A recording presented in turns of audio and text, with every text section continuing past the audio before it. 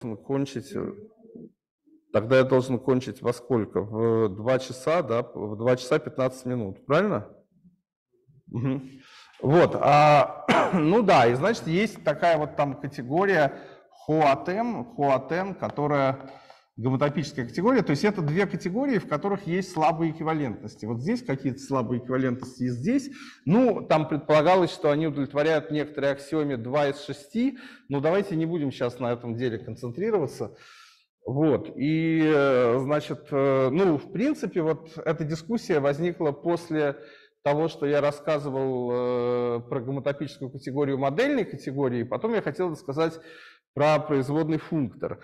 Вот, и, а, значит, э, ну и это как бы некоторый более общий контекст, чем модельные категории.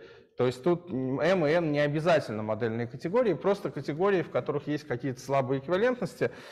И есть функтор f из m в n ну, который морально, значит, может быть там точен слева или точен справа, и в модельных категориях это говорится так, таким образом, что этот функтор m, э, f, то есть является частью, является частью, значит, э, пары Квиллина, да?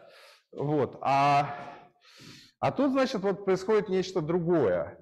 А, э, при, то есть я хочу построить вот левый вот этот э, производный функтор f или там правый f, при некоторых условиях. Э, вот. Ну и, э, значит, сначала дается просто общее определение, что такое, значит, вот этот левый или правый этот функтор f, и для этого оно дается в терминах э, расширения Кана. Вот я думаю, что все, кто сегодня пришел, они на видео в прошлый раз, которое было в прошлый раз, посмотрели, что такое расширение Кана, да? Точно? А, то есть это не надо повторять, супер. Да? Не надо.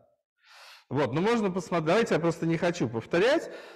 ну вот я просто напомню, например, что бывает левое и правое расширение Кана. Вот если есть какой-то там функтор в какую-то категорию E, например, sets, в которой есть много пределов и копределов, так морально, но не обязательно. И есть вот такой функтор K, то вот тут есть функторы lan и вдоль K и run, вдоль k, которые там... Э, ну, нам нужен будет этот функтор run, поэтому давайте, это значит правое расширение k на это левое. Просто я очень бегло скажу, чтобы просто вспомнить немножко. А, значит, вот этот вот run вдоль k, он обладает тем свойством, что у меня должна быть, э, значит, вот некоторая такая μ, там она тут называется вот э, должно быть э, два стрелка, то есть должно быть, э, вот есть два функтора, значит, вот, вот это f, у меня есть, значит, два функтора f и вот это k, и тут run вдоль k. Ну и вот и между ними и должна быть два стрелка, вот отсюда в f, вот, и эта два стрелка должна быть универсальна, да, в том смысле, что если есть другая, а, вот некоторая g, если есть g, и в том смысле, что если есть, э, э, значит, э, значит, значит, значит, да, если есть k на g, вот в этот самый f, то f, то отсюда Значит, следует, что существует единственная вот стрелка отсюда сюда, вот между этими двумя, эпсилон, между от g в,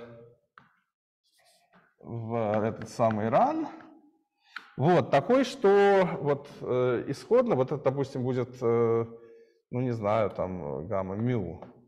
Вот, такой, что мю, такое, что э, мю равно композиции, да, вот это самое эпсилон потом это. И такое эпсилон должно быть единственное и существовать. Вот, и мы, значит, это применяли к науке про, вот если мы просто локализуем вот э, по каким-то там слабым эквивалентностям, то возникает такая картинка, что у нас m отображается в n просто вот посредством функтора f, а это отображается в гомотопическую категорию n. Вот. А это отображается сразу в гомотопическую категорию M. То есть это вот условно, это аналог нашего вот К с той картинки. Но мы потом будем другие. Ну, в принципе, это называется тут дельта, там, дельта М, дельта Н. Ну, неважно, но, в общем, в принципе, вот надо смотреть на эту диаграмму, как на эту. И я хочу вот построить вот этот вот функтор run вдоль дельты n, m. Да, и вот этот вот run э, э, вдоль дельты m, хуат m, э, хуат n, э, называется левым сопряженным функтором. То есть, э, извините, левым производным, да? Называется левым производным, левым производным. Ну и на самом деле вот все функторы, которые являются левыми производными, которые мы знаем, они вот таким образом определяются. Ну потом можно будет там вспомнить, э, что написано по этому поводу у Ельфанда Манина, а значит то, что тут происходит, это некая вот конструкция. Значит, конструкция заключается в следующем, что просто вот э, при некотором, тут, некоторое, вот тут это просто общее определение, этого может быть, может не быть. А теперь, значит, когда это есть заведомо, да, вот, вот называется, значит, э, левой деформацией функтора, левой, просто левой деформацией m, вот, э, сначала без функтора m, называется а, вот морфизм два стрелка тоже q а, а, называется некий функтор q и морфизм вот из q в значит identity m m вот. И вот это должны быть вот эти, ну, э, это два стрелка, она задается, соответственно, что для любого x у нас есть q от x в x, и то, что это слабая эквивалентность, требуется, чтобы вот эта стрелка была слабой эквивалентностью. Ну и отсюда следует, что вот эти стрелки для любого э, морфизма, что если x в y слабая эквивалентность, да, то тогда, значит, вот эта стрелка тоже слабая эквивалентность. Вот, и это следует, э, ну вот если f, да, если f слабая эквивалентность, тогда у нас э, вот есть такая диаграмма, значит, в которой это, это и это слабая эквивалентность, значит, и это слабая эквивалентность. Вот. И это называется левой деформацией функтора. А, значит, то есть мы как бы объект, морально мы заменяем объект на проективную резольвенту. То есть правильно думать об этом вот так, что вот это Q – это проективная резольвента. А, значит, теперь э, это является деформацией функтора, э, не просто деформацией, а вот это Q является, является деформацией для f, левой деформацией для f, вот, из m в n, если следующее верно. А, если вот мы обозначим mq, а, полную категорию в m, полная подкатегория, объекты которой, объекты которой это значит, образ Q. Это вот Q от какого-то объекта. Вот. Но морфизмы не обязательно Q от какого-то морфизма. Это могут быть, значит, это полная подкатегория. Не обязательно Q от морфизма.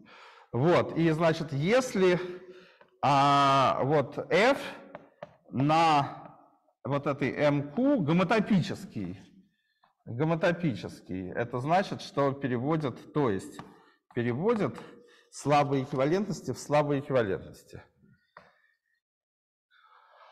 То есть переводят W в w, вот M в WN. Вот. Ну, значит, смысл в том, что если у нас есть слабая эквивалентность между любыми там комплексами какими-то, то какой-нибудь там точный справа функтор – он не обязан, вот этот f, он морально точный справа, да, мы считаем левый производный. Он не обязан переводить слаб, вот эту слабую эквивалентность, слабую эквивалентность. Но если есть слабая эквивалентность между проективными комплексами, то он обязан это делать, да, то есть, то есть в той, любой точный справа функтор переводит слабую эквивалентность между, э, при, от, которая есть отображение проективных комплексов в э, тоже слабую эквивалентность. И вот как это надо доказывать? Это, ну вы знаете, да, это надо там от э, морфизма перейти к конусу. И морфизм слабая эквивалентность тогда и только тогда, когда конус ацикличен. А мы, как бы, это является просто более фундаментальным почему-то понимаем, ну, знанием везде изучают, что если у вас есть проективный комплекс, который ацикличен и точный справа функтор, и вы применяете вот этот функтор к этому проективному комплексу, то получается тоже ацикличный, да?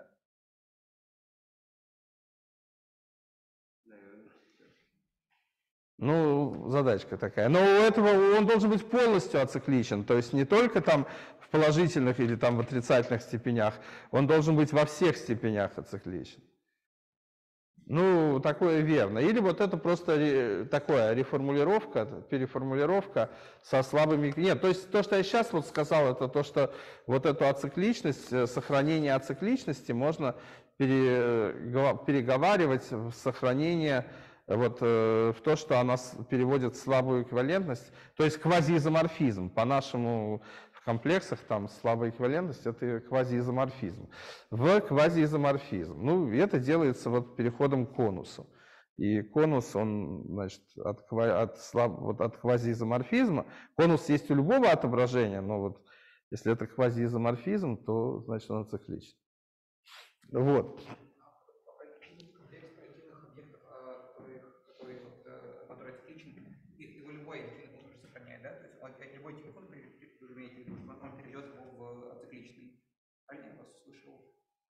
Точный справа должен. Должен быть точный справа, да. А почему любой? Я подумал, что, то есть я подумал, что раз это верно, наверное, имеется в виду, что там короткие точки последовательности будут, ну, следующие короткие точки последовательности, они будут э, иметь противный объект, поэтому будут расщепимы, э, и расщепимые постоянно сохраняются любым аддитивным, но э, можно написать аккуратно, и там что-то не так будет. По-моему, должен быть точный... А, может быть, вы правы. Но э, сейчас, может быть, вы правы. Да, точный справа нужен... Да, может быть. Это просто еще несимметрично получается. Почему именно справа, не там, и слева точно? Сейчас, сейчас, сейчас, сейчас, сейчас. Ладно, давайте это после лекции обсудим, потому что у нас есть только полтора часа, я должен вот но мы обсудим обязательно. Вот, э, значит, окей. Теперь, значит, вот предлагается, да, теперь, значит, то, что вот э, утверждение заключается в следующем, что пусть, вот, вот если вот это есть, вот такое, такое f, значит, что вот такое вот q, что для некоторого функтора f, вот э, кроме вот этого условия, тут f нету, да, тут вот f не участвует. Еще f на mq, вот на этой вот полной подкатегории переводят слабые эквивалентности в слабые эквивалентности. Вот, тогда, значит, э, можно построить э, производный функт. Тогда можно построить вот это вот правое расширение Кана. Тогда можно построить это правое расширение Кана следующим образом. Это правое расширение Кана таким вот образом. Значит, можно э, взять, э,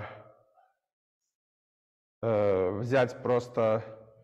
Э, да, во-первых, тут будет некоторое переговаривание, да, то есть вот вместо того, чтобы говорить, вот это не только для вот этого рана, а вообще для любого функтора, вот вместо того, чтобы говорить о функторах из гомотопической категории в какую угодно, в частности вот в эту гомотопическую, но это не важно уже. Я могу говорить о функторах из M, которые переводят изоморфизм, переводят слабые эквивалентности в изоморфизмы. Вот я буду этим пользоваться. Давайте я где-нибудь тут напишу, то есть функторы э, вот хо от m куда угодно, там в некоторое там e, это то же самое, что э, вот, то же самое, что функторы из m в e, которые переводят, которые переводят э, слабые эквивалентности в изоморфизмы. Да, э, в изоморфизмы, да. Вот, ну это, собственно, у нас было там, ну, в контексте модельных категорий, это было просто основное там свойство, да, что у нас был функтор из, э, был, был функтор из M вот в эту гомотопическую категорию, он переводил слабые эквивалентности в изоморфизмы. Это то, чего мы хотим. И дальше, если у нас есть э, какой-то другой функтор, который вот, э, вот этот, как он там назывался, в E, там, который переводит тоже слабые эквивалентности в изоморфизмы, то значит он определяет единственный такой функтор. То есть на самом деле мы можем просто вместо вот этих функторов говорить о функторах из, из, из m, э, из m в эту гомотопическую категорию, которые переводят э, значит, э, слабые эквивалентности в изоморфизмы. Давайте напишем просто для дальнейшего, так сказать, референса, что мы тогда хотим доказать. Мы хотим построить некоторый функтор run, вдоль дельта. Вот мы его будем строить из m в гомотопическую категорию n, который переводит, который переводит слабые эквивалентности в изоморфизмы и а, значит, который обладает следующим свойством, что для любого g из m э, не, да, то есть, значит, этот, э, он должен иметь, да, вот этот, э, дайте, да, такой, что у нас есть отображение, да, run мы тоже интерпретируем, да, то есть, то есть вот этот вот функтор у нас вот здесь, то есть у нас, значит, должно быть э, вот это э, отображение, два морфизм из э, вот этого рана, э, рана вдоль дельты, значит, должно быть два морфизма, вот он там обозначался, там вот, да? Ну, ладно, как-нибудь мы его там будем обозначать дальше. Должен быть, вот, значит, два морфизма вот в этот функтор, mvf, а вот этот функтор, он, конечно, не обязательно переводит, вот этот функтор, он не обязательно переводит слабые эквивалентности Э, в изоморфизм, если бы он переводил, то ничего бы делать не надо было. Значит, VF на дельта, но вот этот вот переводит. И обладает следующим свойством, что для любого, а, значит, G из M в HO N, который переводит, который переводит э, слабые эквивалентности в изоморфизмы и два морфизма там из G, из G да, Э, два морфизма вот из G должен быть в вот этот вот наш функтор дельта на f. Вот, существует единственный морфизм из э, G эпсилон. Вот это мы эпсилон обозначаем. Значит, из G в этот самый э, вдоль дельта такой, что если взять сначала эпсилон, а потом Э, вот эту, потом наш, который надо было как-то обозначить, вот это, это, вот, то мы получаем, не знаю, там, мю.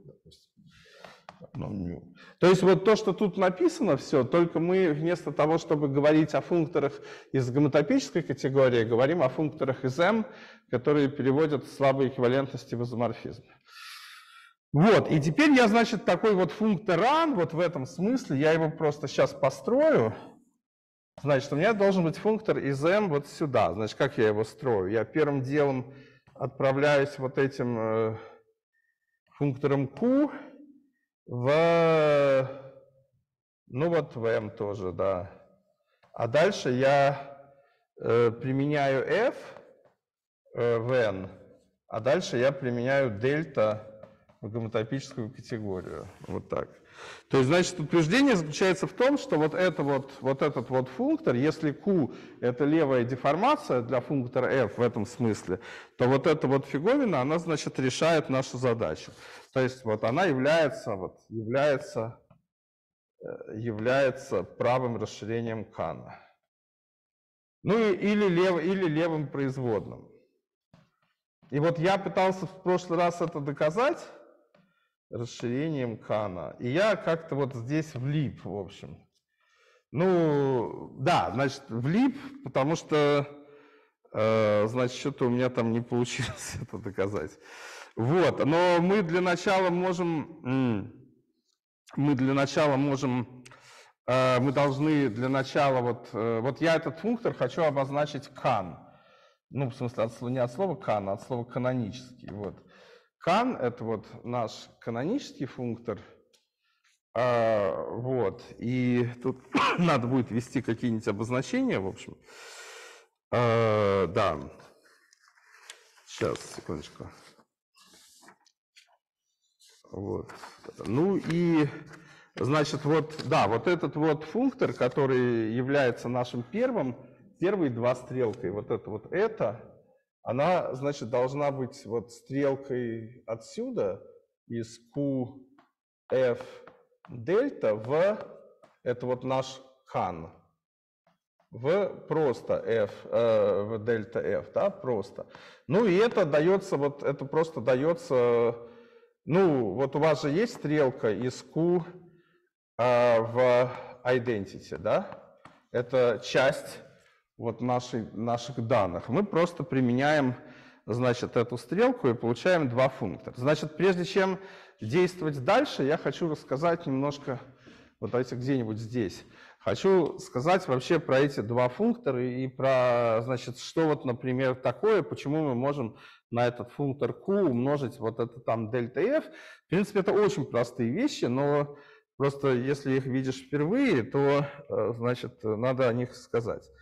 Значит, вот э, история такая, что тут мы имеем дело с два категории. Ну, в данном случае два категории всех категорий. Значит, это строгая два категория, вот, э, строго два категория в том, в том смысле, значит, что у нас э, есть, э, ну что у нас вот есть два морфизма, то есть у нас есть два категории, значит у нас есть там два, есть вообще это нечто более общее, такое, вот, вот в данном случае мы работаем с два категории всех категорий, малых там, но это, ну не обязательно малых, но это может быть что-то более общее, значит, ну, просто лучше говорить о более общем, это очень простое определение, чтобы просто понимать, что происходит. Вот, значит, что такое два категории? Что у нас есть объекты, там между ними есть стрелки, морфизмы. И между этими двумя морфизмами, двумя вот, вот между такой диаграммой двух морфизмов из одних и тех же объектов могут быть два стрелки. Теперь, э, значит, э, бывает... Э, ну да, если мы забудем про два стрелки, это будет обычная категория. Ну, дальше у нас есть вот, точно так же, как у нас есть для любого объекта x, есть identity x, да, который принадлежит хому из x в x. То есть это один, один стрелка. Точно так же у нас есть identity два стрелка. То есть для любого f, значит, у нас из x в y, у нас есть э, identity f, которая есть два стрелка из f в f. Вот это просто такая аксиоматика. Ну, понятно, что если у нас есть категория всех категорий, то совершенно понятно, что identity из f в f — это функторы. Да? То есть в нашем примере вот эти объекты — это категории, эти стрелки — это функторы, а два стрелки — это натуральные преобразования. Вот, тогда, значит, два стрелки – это натуральные преобразования. Понятно, что из любого функтора в себя есть э, натуральное преобразование, тождественное. Да? Понятно, что это такое, да? Вот, теперь, значит, у нас вот есть эти единицы, еще у нас есть две композиции. Значит, есть вертикальная композиция и горизонтальная. Вот есть такое, если есть x, y, э, значит, вот f, g, h то отсюда, значит, получается их вертикальная композиция, которая есть x, э, f, h, y. Вот, она должна быть ассоциативна, и вот эти штуки должны быть единицами. Значит, ассоциативно, там, identity являются единицами, строгими. Все совершенно строго. Там дальше уже там в более высокой науке все не строго, но нам, к счастью, это не надо ну, единицами, ассоциативно с точностью до чего-то, там единицами с точностью до чего-то, но у нас все совершенно строго. Это значит вертикальная э, композиция, да?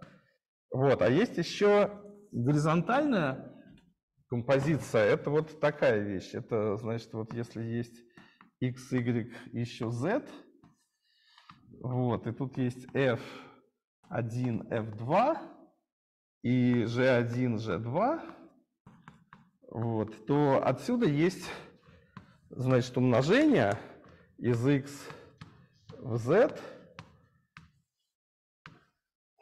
Вот.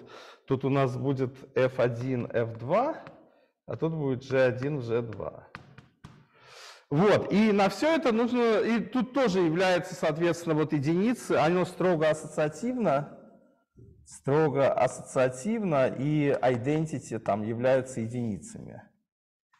Являются единицами строгими. Вот, и есть ровно одна аксиома, помимо этих ассоциативностей, которая называется аксиома там либо Гадемана, либо Экмана Хилтона, которую вот можно вот так нарисовать. То есть это как бы микс некоторые вертикального умножения и горизонтального. То есть если у нас есть x, y, z, и тут есть f1, g1, h1, и тут есть f2, g2, h2, то мы можем, собственно, получить некую композицию. Вот, мы хотим получить композицию из x в z, вот самого вот верхнего, что ли, да, вот тут можно даже написать H1, H2, а тут F1, F2. Вот. Ну и мы можем это сделать, понятное дело, двумя способами, да. То есть э, мы можем, э, ну, потому что что тут написано, это непонятно что. Мы можем сначала вот взять э, вот эти вот горизонтальные композиции, вот. Это значит, у нас переходит в горизонтальную, вот я и так напишу композицию, да, можно взять вот это дело, вертикальную композицию. А, то есть тоже горизонтально, вот это вот нижний пара, это верхний, значит, оно переходит, соответственно, вот, я просто так его обозначу, чтобы было понятно, о чем идет речь. Вот, это вот этого и этого, значит, горизонтальные композиции, а потом можно взять вертикальную композицию. Вот, и получить, значит, уже вот такое. Вот, а можно поступить наоборот. Можно сначала взять вертикальные композиции, вот, оно, значит, переходит вот, ну, вот такое. Можно взять вот это x, это y. Можно взять там теперь из y в z. Вот вертикальную композицию это будет там вот такое. Вот. А теперь взять их горизонтальную, наоборот, композицию. То есть это получается две таких вот сущности разных, два разных возможности, они должны быть равны. Это называется аксиома, значит, эти две возможности две возможности, ну, одинаковые. Ну, не одинаковые, как надо сказать, дают, приводят к одинаковому двоморфизму. Ну, диаграмма коммутативна, короче. Ну, одинак, одинаковые. Вот. Э, ну, это не совсем корректно, так сказать. Вот. И, значит, вот это вот аксиома. Теперь, значит, вот э, что я тут написал? Вот дель... А?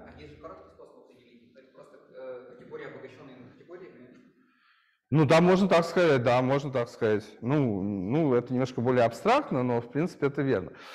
вот, на самом деле, на самом деле, вот эта вот аксиома, вы ее на самом деле, ну, вы же тут многие, наверное, знаете, что бывают моноидальные категории. Вот, на самом деле, это очень полезный пример, я даже себе тут вот где-то отметил э, сказать, что моноидальная категория, это любая моноидальная категория, это частный случай вот такого. То есть пусть Пусть M моноидальная категория. То есть моноидальная это значит, что у нее есть э, э, произведение на объектах, да? И там есть еще, если вы помните, такая аксиома, что если у меня есть M1 в M2, э, вот, э, значит, некий F, и M и N1 в N2, некий G, вот, и я могу тогда, значит, взять произведение M1 в N1. Вот, я могу вот двумя способами, которые равны, перейти, соответственно, в M2, N2. Да? Вот, значит, вот здесь у меня будет э, F, э, F умножить на identity э, на identity n1, и тут будет, соответственно, m2 на n1. А тут можно взять identity m2 умножить на g, да? Вот, а тут можно сделать наоборот. Можно взять, э, соответственно, identity m1 умножить на g сначала. Тут будет, значит, э, m1 на n2.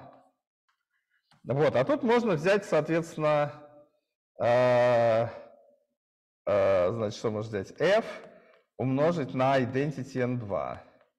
Вот, и как вы понимаете, вот эта диаграмма очень похожа вот на то, что я тут говорю, и оно неспроста, потому что каждую моноидальную категорию можно рассматривать как строгую два, ну, если она строгая моноидальная категория, то строгую. Вот, следующим образом, можно, значит, рассмотреть, вот можно рассмотреть m тильдочка, это два категория, э, строящиеся по m, у которой объекты m тильдочка это просто одна, один объект всего, значит, морфизмы, морфизмы в m тильдочка это объекты, объекты в n, m. Вот, теперь, а, значит, а, композиция морфизмов, композиция э, морфизмов –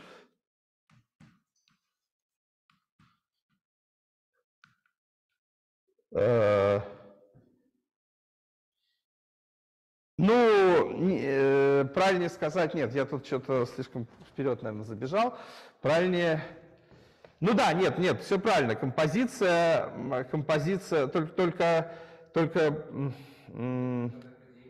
нет, композиция, да, композиция морфизмов, да, совершенно правильно. Это тензорное произведение, вот это ВМ, то есть моноидальное произведение – вот. А дальше, значит, у нас э, есть... Э, да, теперь у нас, значит, э, вот есть два морфизма вот таких, да, это значит кто?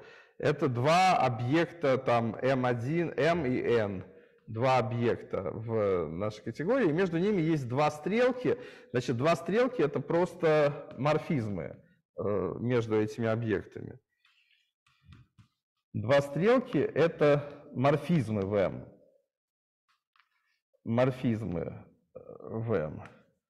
Ну вот, тогда, значит, получается, что вертикальная композиция – это просто… Э, нет, тут вот э, какой-то… Значит, подождите, обождите, тут какой-то… Да, ну хорошо, это два стрелки.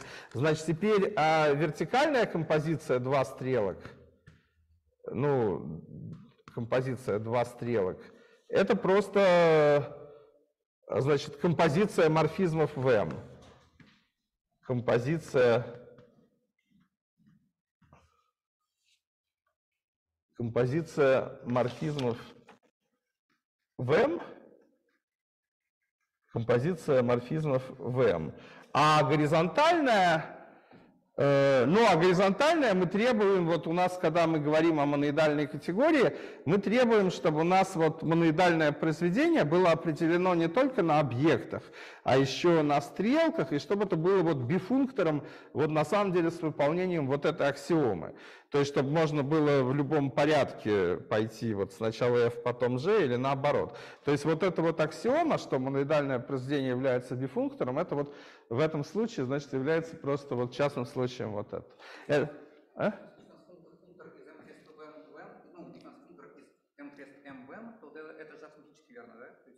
Если из m э, тильдочка вы имеете в виду? Или?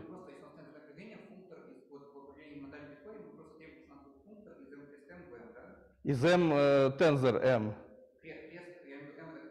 Да, да, а, что такое моноидальная категория? Да, мы требуем, чтобы у нас был функтор, действительно,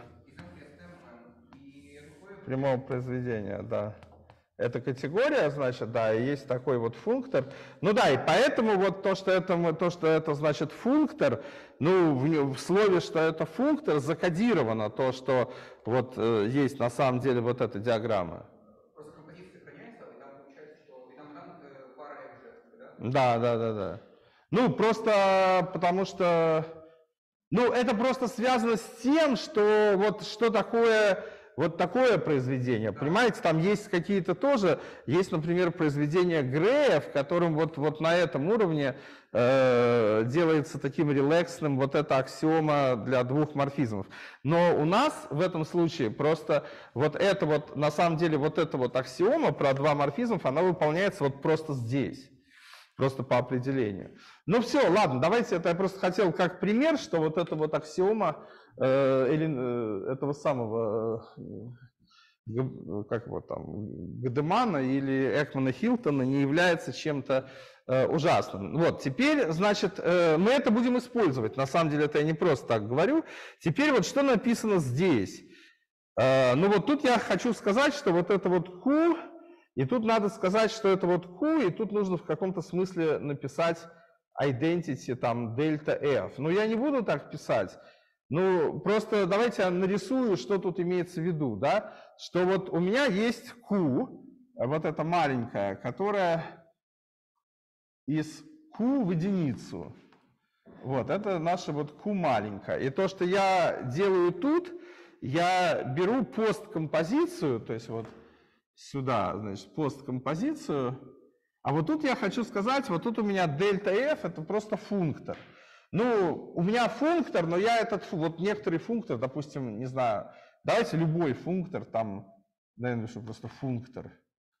Вот, и я могу, да, это, ну, функтор, функтор э, альфа, вот это функтор. Вот, тогда у меня отсюда получается на самом деле э, вот э, q э, альфа. И тут, э, значит, будет просто альфа, да? И это частный случай вот э, горизонтальной композиции, потому что, ну вот если у меня есть функтор альфа, то у меня есть identity от этого функтора. То есть морально это означает, что я беру identity от этого вот альфа, ну в любую сторону могу, да? Identity от этого вот альфа и беру такой вот два функтора из альфа в альфа, которые identity, и беру горизонтальную композицию. Это вообще научно называется вискеринг, но не знаю почему, но вообще я не знаю, есть какое-то английское слово, помимо виски, есть слово вискер, что ли, уискер, то есть я не понимаю, что это значит, но вот так все говорят.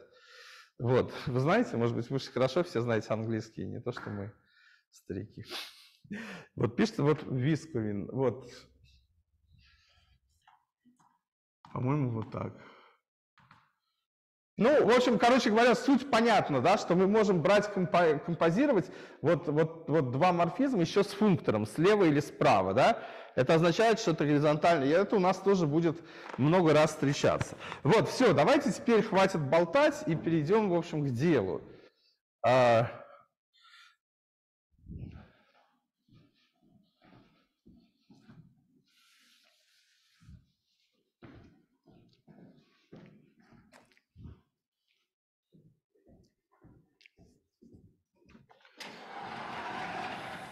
А, окей.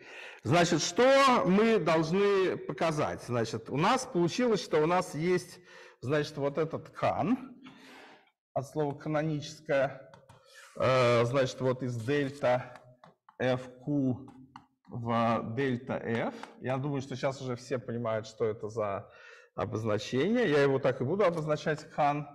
Вот, и мне нужно показать, что он удовлетворяет универсальному свойству, а именно, что пусть g, пусть g э, э, некоторый, значит, тоже отображает некоторый функтор, то есть g это тоже из m в ho от n, переводит W в изоморфизмы, да, потому что мы так условились, что мы заменяем.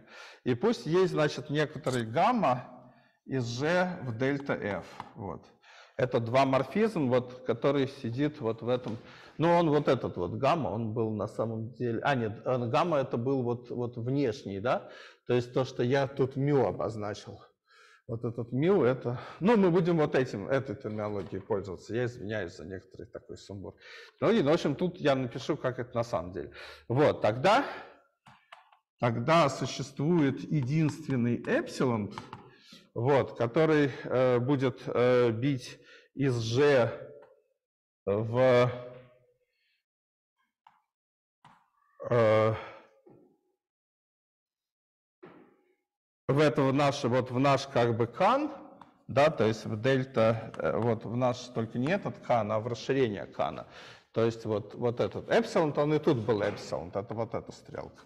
Вот, такое, что, значит, композиция равна такое, что, а, значит, если взять сначала эпсилон, а потом вот этот кан, вот, то получится а, гамма. Вот, гамма это вот это. Да, вот, вот тут правильно написано, я думаю.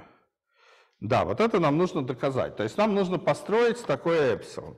И вот в этом месте я уже начал, значит, в прошлый раз как-то немножко это самое. Но сейчас не начну. Вот, существует единственный. Вот, то есть надо две вещи доказать, что существует и что единственный. Сначала докажем, что существует. На самом деле это удивительно, в принципе, хоть и просто, потому что это как бы показывает, в каком контексте более общем, чем обычно, мы можем говорить о вот этих левых и правых производных функторах. Вот, значит, окей, значит, доказательство существования. У нас есть Q, значит, в identity, да, мы его можем, э, мы можем вот сделать вискеринг с этим же. Вы знаете уже, что такое вискеринг? То есть у нас теперь вот эта штука, значит, отображается в эту. И вот это вот, это будет э, э, изоморфизм. Э, значит, это вот это натуральная это два стрелка, которая изоморфизм. Которая изоморфизм. Что значит, что она изоморфизм? Это значит, что вот ее, вот эти, вот для любого x мы берем, у нас есть, значит, gq от x, она отображается там в этот самый в g от x, и вот эта вот стрелка будет просто не слабым эквивалентностью, а изоморфизм. Почему это так? Потому что стрелка из q от x в q Э, из q от x в x она слабая эквивалентность, а g по одному из условий переводит слабые эквивалентности в изоморфизмы. Да? Поэтому, когда я применяю g, q от x в g от x, я получаю изоморфизм. То есть эта стрелка у меня изоморфизм, и я ее могу как-то так даже вот э, написать, что это изоморфизм, и поэтому я могу э, вот на самом деле Э, могу э, мою гамму, вот могу, вот у меня есть гамма, которая, значит, была из, из G в вот это дельта F, да?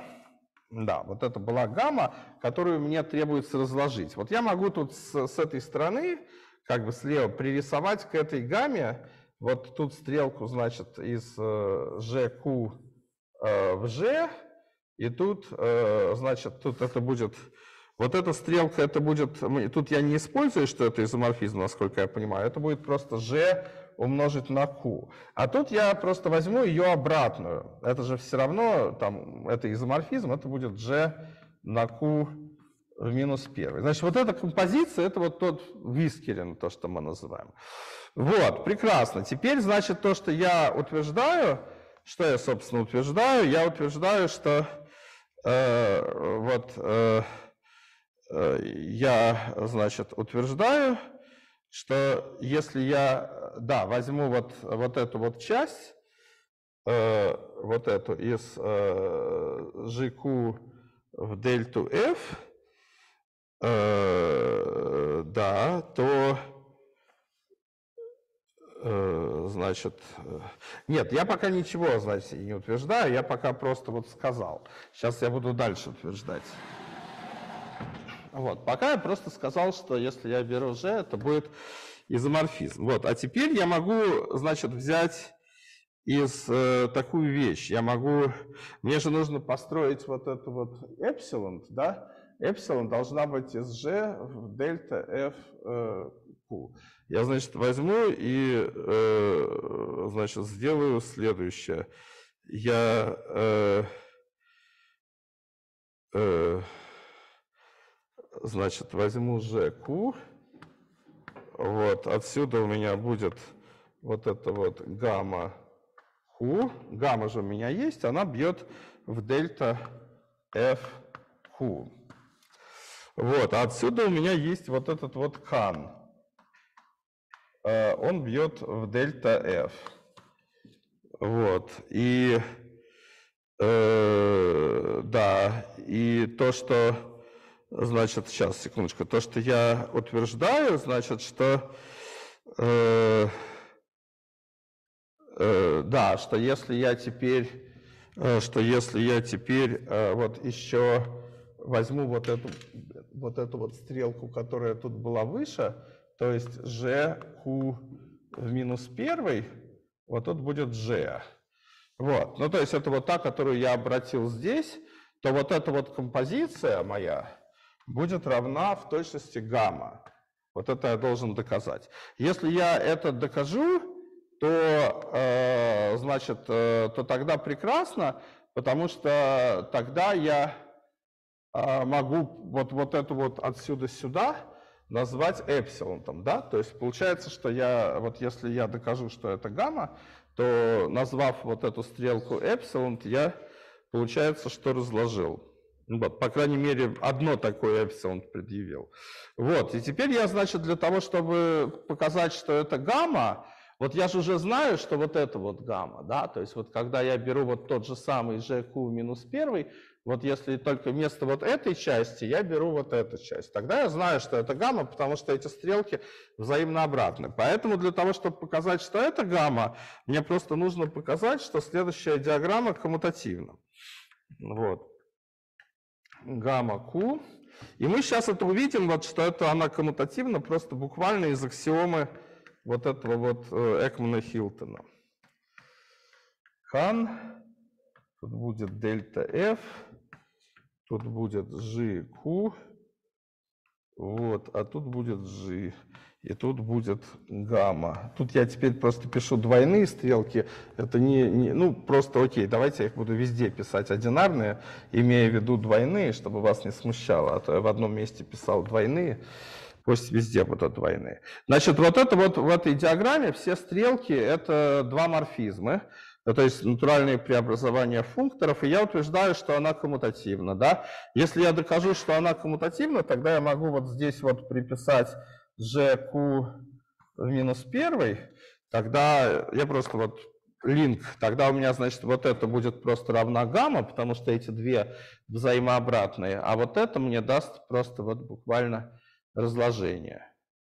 Это тогда я вот после того, что так сделаю, я вот это вот назову эпсилон. Понятно, да, что происходит? Да?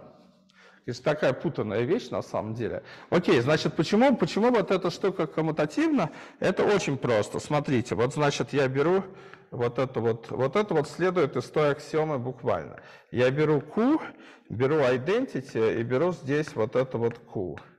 Вот, а дальше я беру G, вот, и беру дельта F, и это мое гамма. Вот, и, а, значит, соответственно, вот та аксиома, которую вот мы тут выписывали, она, э, ну, то есть, нет, не совсем даже та аксиома, а скорее, даже не знаю, какая аксиома, скорее, скорее, скорее вот эта аксиома про моноидальную, ну, да, скорее аксиома, что горизонтальное произведение определено корректно, даже не та аксиома, а то, что горизонтальное произведение определено корректно, вот, означает, что я могу, э, значит, вот, э, вот э, соответствующий результат, это будет, значит, из, из QG в, соответственно, дельта F, да, некая два стрелка. И я эту два стрелку могу считать двумя способами. Значит, первый способ я могу взять вот здесь Q, а к нему вот приписать вот вискаринг с этой, а, вот с этой вот гаммой, да? Вот, тут, значит, будет G, а тут будет дельта F. Ну у меня получается некая стрелка. Вот, из QG в Q дельта F. Вот, а теперь я могу, значит, вот взять вторую. Вот здесь у меня Q, а здесь у меня, значит, уже дельта F. Вот, а тут у меня identity. Я могу, а тут у меня, соответственно, Q. Я могу, значит, взять вот композицию вот этих, э, вертикальную, вот этих двух стрелок. Это для меня одна из возможностей получить вот эту два стрелку. Ну и глядите, эта возможность, она в точности реализуется, вероятно, в том, что э, э, реализуется, значит, э, где? Она реализуется, вероятно, вот здесь, потому вот в этой вот части, да? Вот так, если я пойду. Почему? Потому что вот тут у меня композиция GQ, потом у меня будет э, Q дельта F, вот оно, э, ну да, Q сначала, потом дельта F, и вот эта стрелка тут будет гамма вискеринг Q, вот она тут написана. А потом, значит, каноническая вот эта стрелка в, э, ну, каноническое, это значит, что я Q отображаю в identity, как оно было вот там где-то определено, и делаю вискеринг с этой дельта F. То есть вот это вот, вот эта композиция, это буквально вот эта вот вертикальная вот штука, да? Понятно, да, что тут происходит? Не, просто вот у нас все сводится к коммутативности этой диаграммы, вот, которая тут написана, а Э, вот. А я говорю, что коммутативность этой диаграммы следует просто вот в одну строчку из того, что я могу вот горизонтальную композицию, вот, которая тут написана, считать двумя способами. Значит, первый способ – это вертикальная композиция вот таких дел, а второй способ – это, это вот первый способ. Это дает мне вот такой путь. А второй способ, он немножко другой. Он говорит, что я сначала беру Q, определяю, отображаю его в identity, и тут будет, значит, Q, а тут у меня будет G. Вот, то есть, видите, тут это что? Это GQ, и потом я стянул, значит, Q в identity, вот это. Получилось, значит, что это некая два стрелка из GQ в G. Вот, а теперь я беру, соответственно, то, что у меня от второй вот этой, значит, она, соответственно, должна начинаться с G, а закончиться в дельте F, а тут я беру уже просто identity, да? То есть она, значит, из G бьет в дельта F, и вот эта стрелка – это просто гамма.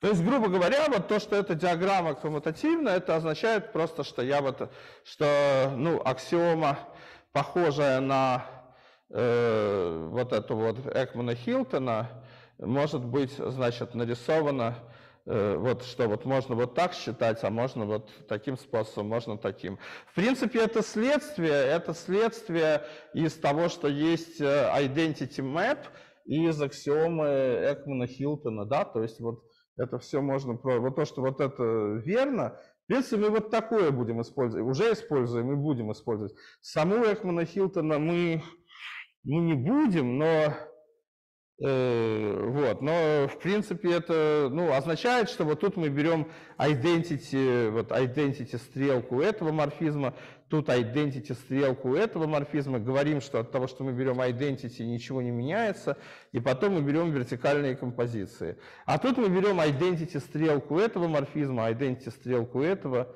и берем эти композиции, того, что мы берем identity, ничего не меняется, потому что это единицы. Ну вот как-то так. То есть отсюда следует, значит, просто вот напрямую коммутативность вот этой вот диаграммы, ну, по крайней мере, видео есть, вы сумеете посмотреть, если чего-то упустили сейчас. Сейчас я хорошо рассказал, в отличие от прошлого раза. Но это пока только существование. Нам еще нужно э, единство, да? Понятно все, да? Мне еще нужна единственность. Вот. Единственность, на самом деле, мы сейчас увидим, что единственность – это ровно тот же самый аргумент, только вот, вот здесь вот вместо гаммы будет эпсилон, а во всем остальном это будет то же самое. Сейчас вот я приду к этому делу.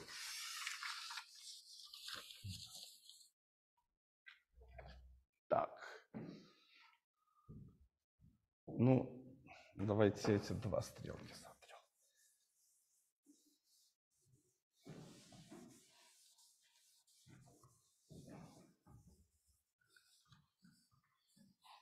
Не, ну, в общем, я, конечно, себя стыдил, что я в прошлый раз запутался, но, с другой стороны, в принципе, тут довольно путано, да, да?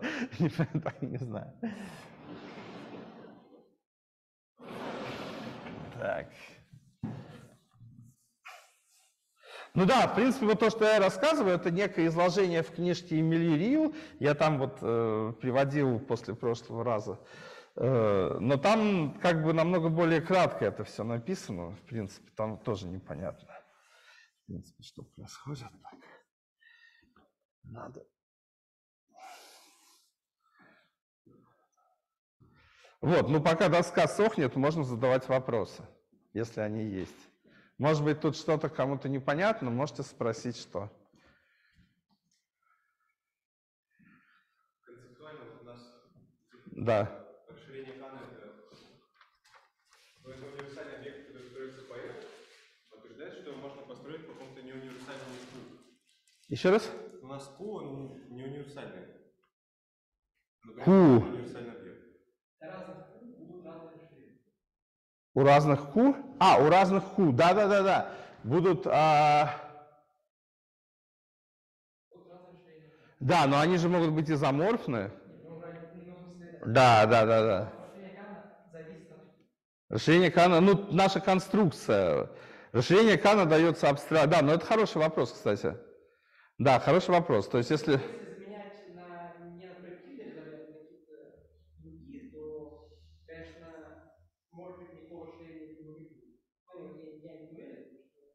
Ну. Нет, нет, ну, ну, понимаете, дело в том, что у вас тут, в принципе, вот э, тут проблема не в том, что мы просто берем и заменяем э, на какую-то резольвенту, да, на эту Q. Проблема в том, что мы требуем, чтобы это было функториально. То есть, чтобы вот, если у нас есть, допустим, морфизм комплексов, чтобы у нас был морфизм соответствующих Q. И identity была в identity. В принципе, мы в гомологической алгебре такое не привыкли делать. И я потом чуть-чуть, вот мы обсудим чуть-чуть, да, что там происходит в гомологической алгебре, почему нам этого не надо. Вот. А, а тут вот должно быть функториально. Но вы правильно говорите, что теоретически никто не сказал, и практически тоже, что это Q единственно. Ну, вот это же как бы расширение Кана, оно определено единственным образом с точностью до канонического, соответственно, изоморфизма.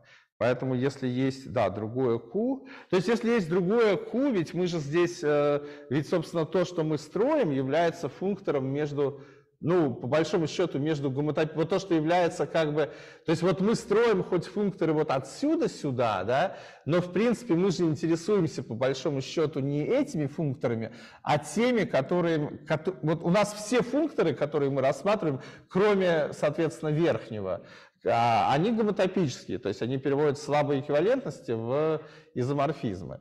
А, а тут мы рассматриваем все, вот все, да.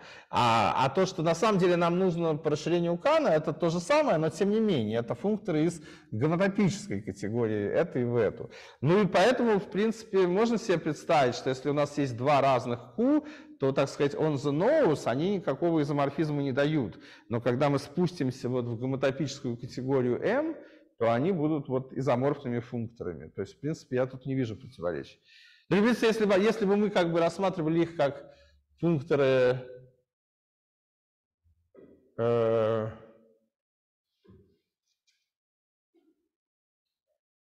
Нет, сейчас, что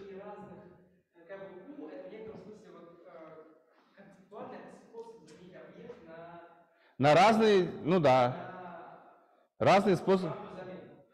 Да, да, совершенно верно. Если будут разные модельные категории, то будут разные правильные замены, поэтому и, как бы, разные функции будут получены на функциональных категориях. нет?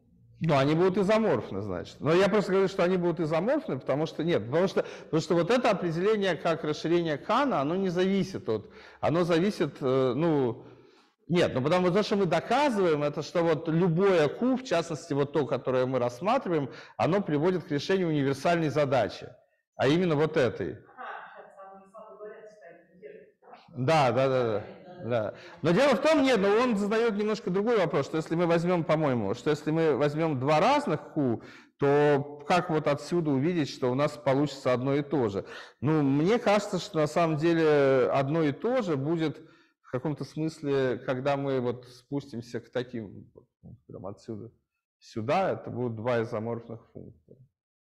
Хотя, в принципе, это, наверное, одно и то же. Наверное, вот на этом уровне это тоже будут два изоморфных функтора, что они один к одному. Ну вот, в общем, да, такая вот забавная история, да, то есть...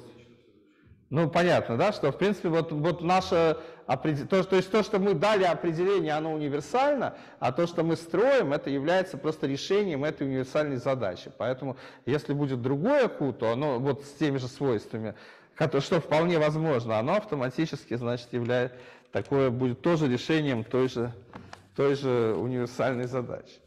Вот, все. Теперь, значит, нам нужно показать единственность, и на этом мы эту вообще это дело, значит, забросим.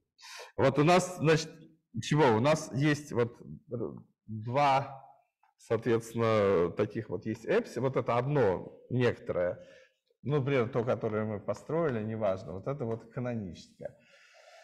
Значит, в дельта F, а это вот наша гамма. Значит, гамма фиксирована, гамма фиксирована, и нам нужно, оно переводит, переводит э, в, в ИЗО, и нам нужно показать, надо показать, что эпсилон единственно. Что эпсилон единственно. А можно я вас спрошу, пока я, вот у вас там вот э, на 14 линии, а я правда там уже делал один доклад, там вот тоже такой дурацкий мел или, или норм, нормальный? Что вот когда пишешь этим мелом, вот этим вот, который я своим сейчас пишу, просто ну невероятно приятно, то есть все так мягко, мягко, а этот он просто и доску портит, и писать ну, жесткий очень просто. Можете потом попробовать, а? Там разные есть. А, да? Вот такой же, да?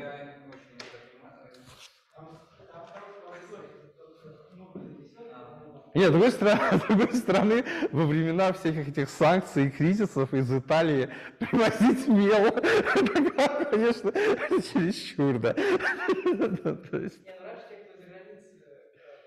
Я купил на Озоне, я купил на Озоне просто вот 135 э, вот, э, рублей за коробочку. Не так много, в принципе. Вот. Да, да, я знаю, что раньше из Финляндии возили. Вот. Ну вот Коля мне да, мне рассказывал. Тоже надо съездить. Вот, значит, смотрите. Нам нужно показать, что этот эпсилон единственный. Э, Значит, э, в чем э, является, что является тут идеей? Вот то, что я пытался сказать в прошлый раз.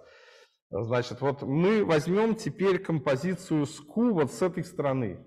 То есть у нас получится дельта F Q в квадрате, а тут будет дельта FQ. И теперь мы говорим, что при вот этом деле вот эта штука становится изоморфизмом. Вот вторая стрелка становится изоморфизмом функторов. Изоморфизмом. Ну, собственно, почему она становится изоморфизмом? Потому что f, а, f по, вот, э, да, тут мы вот используем, вот здесь, смотрите, вот что мы здесь использовали вот в этом рассуждении. Мы не использовали, что, насколько я понимаю, мы не использовали, что f вот от этого вот на категории mq переводит слабые эквивалентности в изоморфизмы. Вот в этом рассуждении, а где мы использовали? Мы, по-моему, не использовали. То есть э, мы использовали что-то там про G, то есть, то есть мы тут доказали изоморфизм.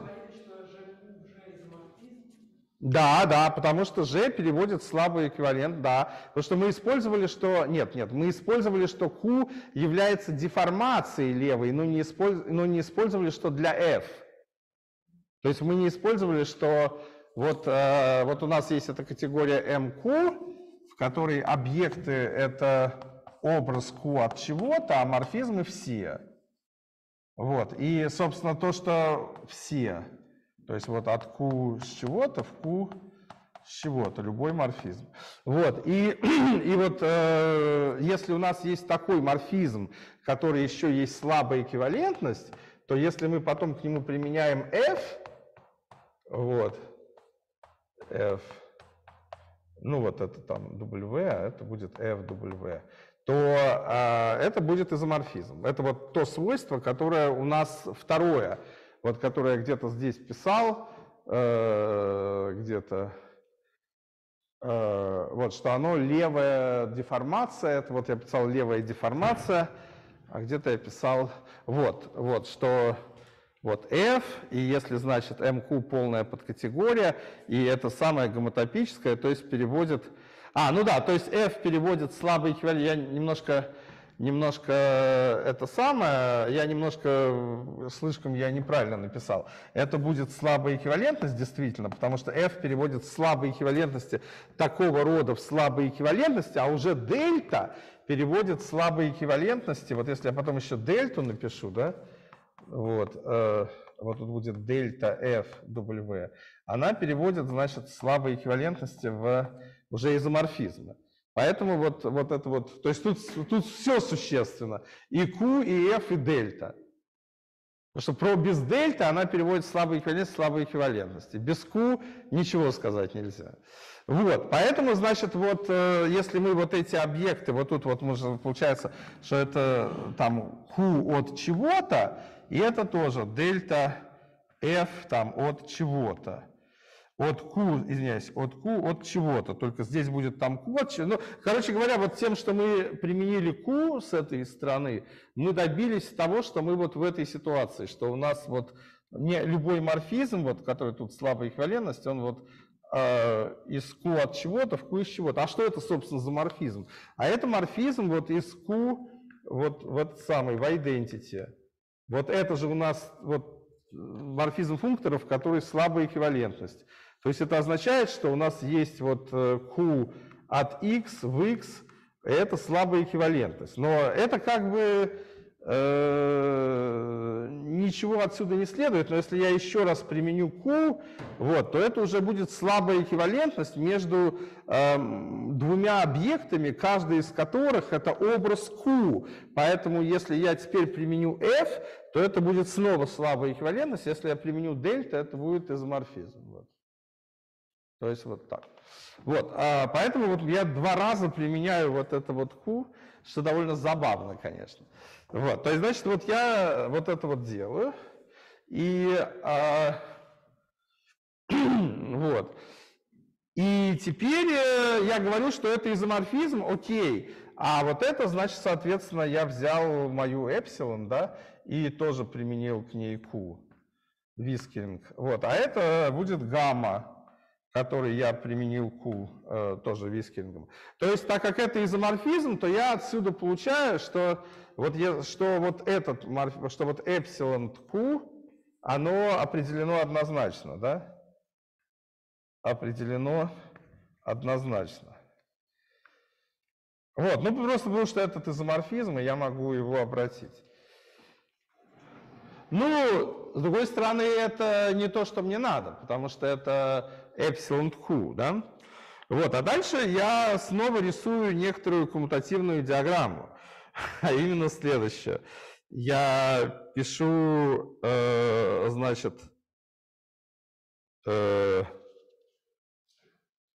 да, я пишу, вот, значит, э, ну, она морально вот этим инспирирована, да, то есть вот она такая, значит, вот тут у меня G, это то, что было раньше. Это использует то, что G переводит слабые эквивалентности в изоморфизмы.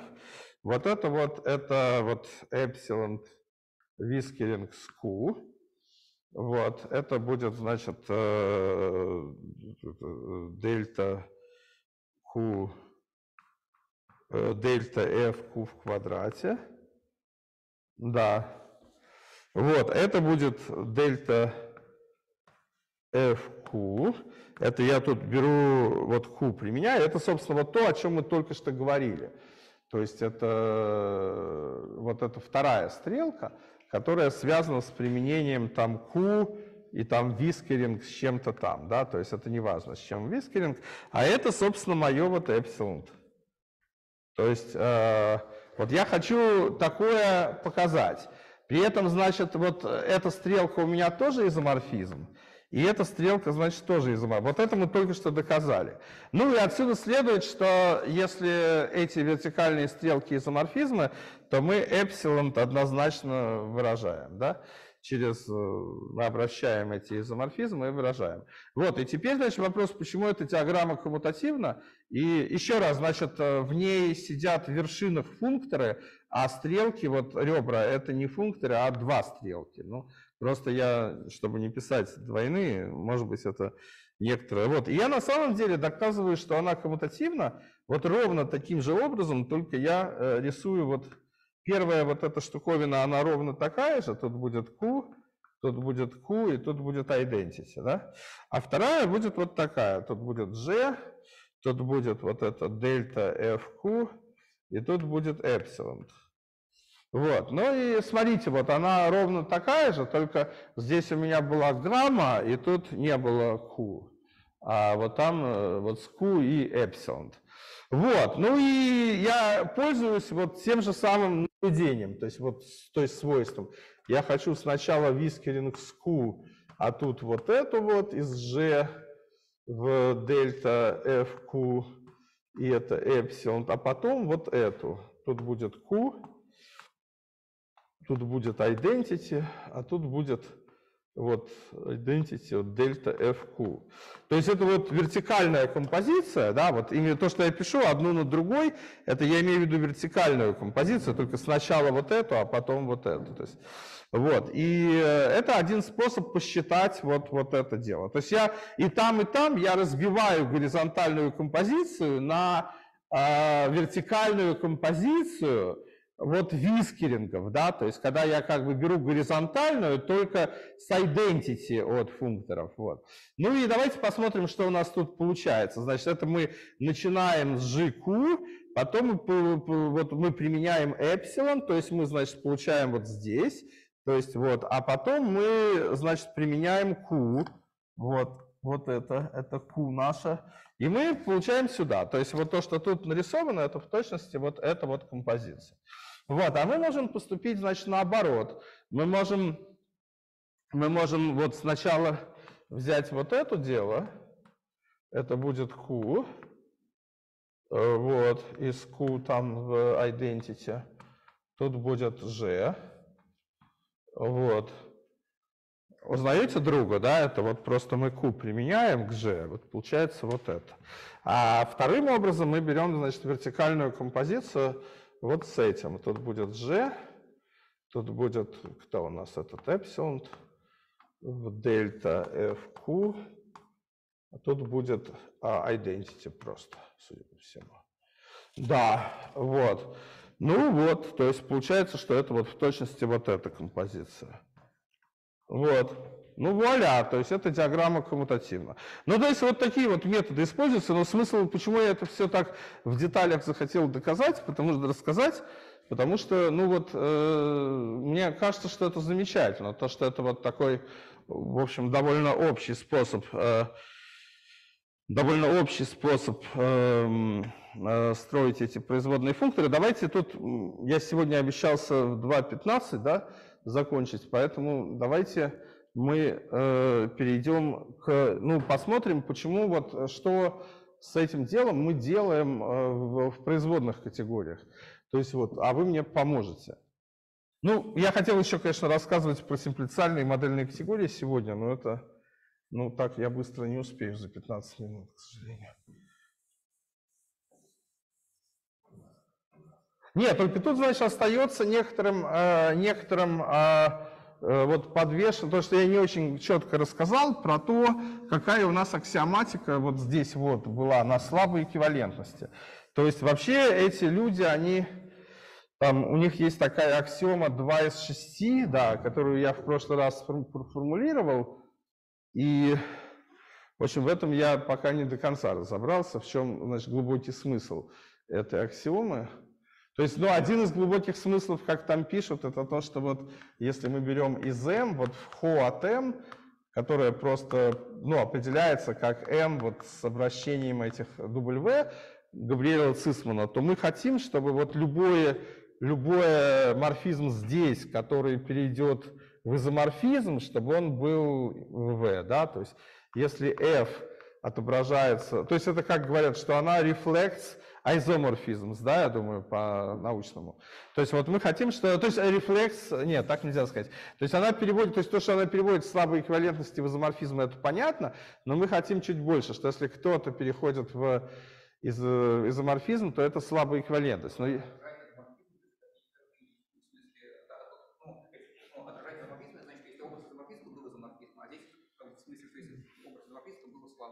Слабый, да. Вот, но я, честно говоря, я, честно говоря, в этом там, вот я не, пока в этом не разобрался до конца, и где-то, наверное, мы еще это все используем, вот почему это нужно, и, в общем, давайте, вот я просто к тому, что вот я некую содержательную, так сказать, часть рассказал. Вообще вот эта вот эта книжка, которую, про которую вот надо ее, наверное, все-таки читать рано или поздно, там, значит, вот Хан, э, Смит, оказывается, вот Джефф Смит, который великий тоже тополог этот, категорный, э, кто там еще, Хиршхорн, Хиршхорн, ну, не знаю, как пишется там, и, и Двайер.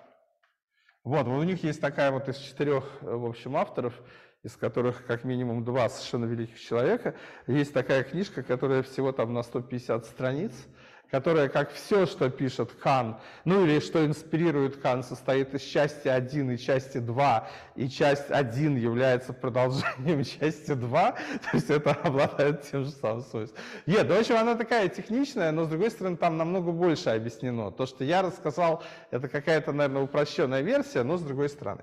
Вот, а, значит, смотрите, значит, э, вот э, как люди там говорят ну, вот э, в Гильфанде Майне, например, пусть у нас есть там аддитивный функтор из абелевых категорий, да, из А в Б, F. Вот. И мы тогда можем взять, вот они как бы сразу говорят о гомотопических категориях. То есть у них, значит, такое, что есть k от А, ну, допустим, там k минус, да, если, как, если это точность справа, там, не знаю. Вот. Потом мы можем, значит, взять вот k от F, и тут будет k там минус от b. Вот. Вот, а тут будет э, вот это вот это там дельта в наших обозначениях, в принципе, в производную категорию от b. Э, вот, и, а здесь будет, значит, вот, ну, тоже вот этот функтор дельта, другой только в производную категорию от А. Ну и дальше вот э, рассматривается расширение Кана, допустим, в данном случае правое вдоль вот этого вот дельта такого, давайте так напишу, вот, и вот так, то есть вот это вот будет вот производный функтор по определению.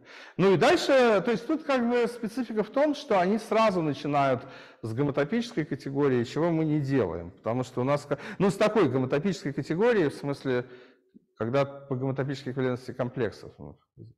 Вот, ну и дальше они говорят, что если есть э, любой, вот если для функтора f есть, как там называется, как это по-русски надо говорить, допустимый или как там класс объект, э, объектов, допустимый, да, э, то есть, что f переводит э, точные последовательности вот из этого класса, некий r, r допустимый класс для f. Нет, то есть вопрос, который вот хочется как бы понять, ведь у нас здесь нету никакой функториальности. Вот как же так? Вот там у нас вот в этой науке тут принципиально было, что вот эта замена, она была функториальна, еще более того, было там натуральное преобразование в идентии, чего тут у нас нету. Вот, допустимый класс, это означает, что f, оно, значит, изоморфи, оно переводит там ацикличные в ацикличные или квазиизоморфизмы в квазиизоморфизмы из R переводит квазиизоморфизмы из R в квазиизоморфизмы. Вот, и это первое свойство, а второе свойство это то, что любой объект, любой э, объект, для любого объекта, для любого x существует R в R и сюръекция R, R в x. Сюръекция, значит. Вот, ну и как бы вот это свойство от f вообще не зависит, а это зависит. Ну и... А? Ну, какие табелевые категории там. А? Ну, они, по крайней мере, не пишут, что гратендиковские. Я не понимаю, почему должны быть гратендиковские. Нет, ну Понятно, да. Э. Нет, ну, а, а, нет, нет, наверное, она есть. Вот нам Аршак расскажет, потому что если захочет, и если она есть. Ну, в принципе, мы же думаем, что на модельных категориях есть вот эта функториальная аксиома CM5, поэтому, в принципе... Ну да, да, наверное. Я, нет, я тоже думаю, что есть, но просто я говорю о том, что в конструкции вот это не используется. И это бросается в глаза. То есть не используется функториальность. Вот, и они доказывают, что если есть там, вот Гильфанд Манин, что если есть вот такое дело, то вот эта категория от R, вот э, гомотопическая категория вот от этого допустимых объектов, то есть R должно быть аддитивной категорией, если мы ее профакторизуем по слабым эквивалентностям, которые лежат, э, сейчас, э, ну, слабым эквивалентностям между объектами из R, да, так, там, так это нужно обозначить. Вот, то это всегда будет эквивалентно производной категории, произво- это эквивалентно производной категории от А. Ну вот, и на самом деле они хотят построить вот этот функтор, а для этого они как бы вот обращают вот эту вот эквивалентность каким-то образом, неважно каким, и в принципе они строят вот, они строят вот стрелку из k минус от r, вот а тут значит это самое wr минус первый, вот они строят отсюда вот стрелку в d минус первый b, и это совершенно очевидная стрелка. Это на самом деле просто вот применение функтора f, потому что мы знаем, что функтор, вот нашего исходного функтора f, потому что ну, он же уважает эти самые комплексы из r.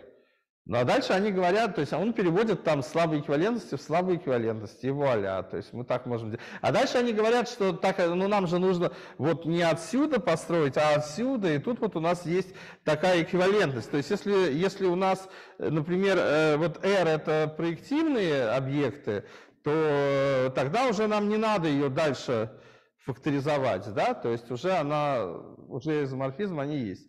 Это, в принципе, можно понять по тому, что мы изучали с теоремой Уайтхеда. То есть, если есть две проективных резольвенты одного и того же объекта, то они изоморфны в гомотопической категории.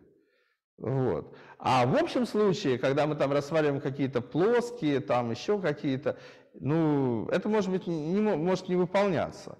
И ее надо там дальше профакторизовать по тем слабым эквивалентностям, которые в ней содержатся. Вот. Ну и дальше, когда мы это вот сделаем, это будет всегда эквивалентно производной категории. То есть таким вот трюком они каким-то образом э, вот, э, избавляют себя от необходимости рассматривать какие-то там функториальные резольвенты. Вот. Ну, я сейчас просто довольно бессодержательно, в смысле, это просто процитировал, но там это доказывается, конечно. Ну, в принципе, тут довольно, ну, тут надо вот это доказывать. А дальше вот, вот то, то есть еще раз, вот этот вот функтор, который как бы наш, то есть определяется это как ран, да, дальше строится вот этот функтор, и строится он таким образом, что это значит вот просто мы применяем вот f просто вот применяем к тому, что тут есть, уже без всяких замен.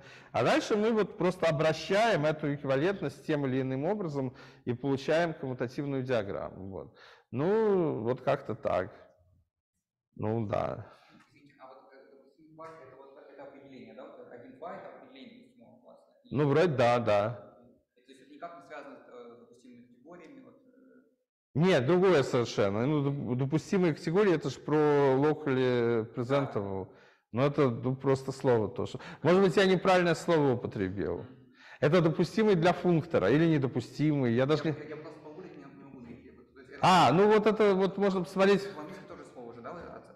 Я не знаю, я, у меня Гельфанд Манин по-русски есть. А. Это же русская книжка. Я даже не знаю, как забыл, как это там называется. Подход... Нет, не подходящий, ну...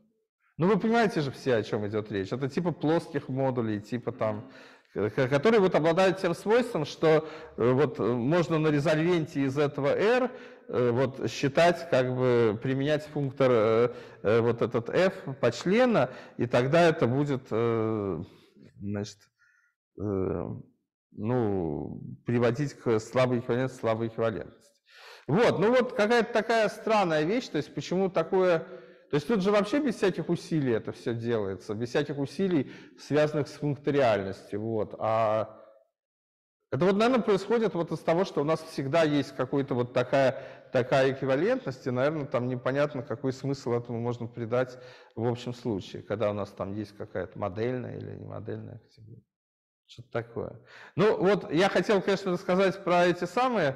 Давайте мы там сообразим, может быть, что-нибудь еще на следующей неделе придумаем, но, в принципе, на следующей неделе будет вот Аршак рассказывать. Он нам расскажет про, про то, э, значит, э, как строить я думаю, что это будет очень полезно и менее абстрактно. Он нам расскажет про то, как вот э, комплексы э, вабелевой категории, как конечные справа или слева, так и бесконечные в обе стороны образуют замкнутую модельную категорию. Правильно?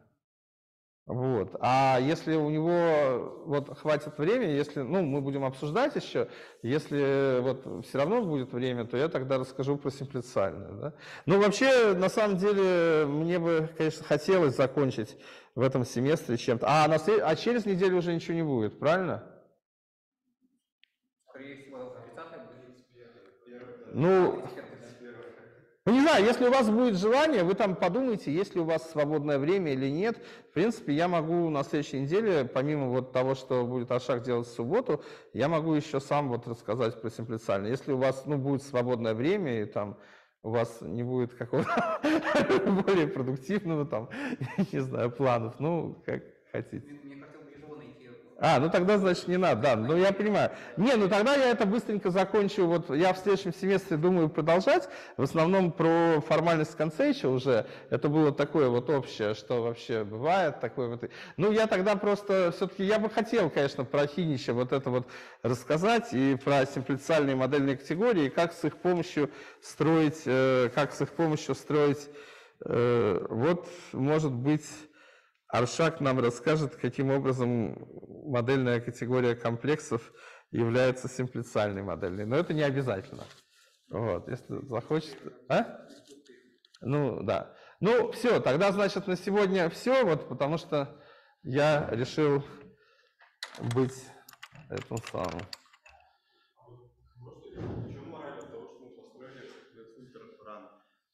В чем радость? Ну, радость в том, что он инвариантно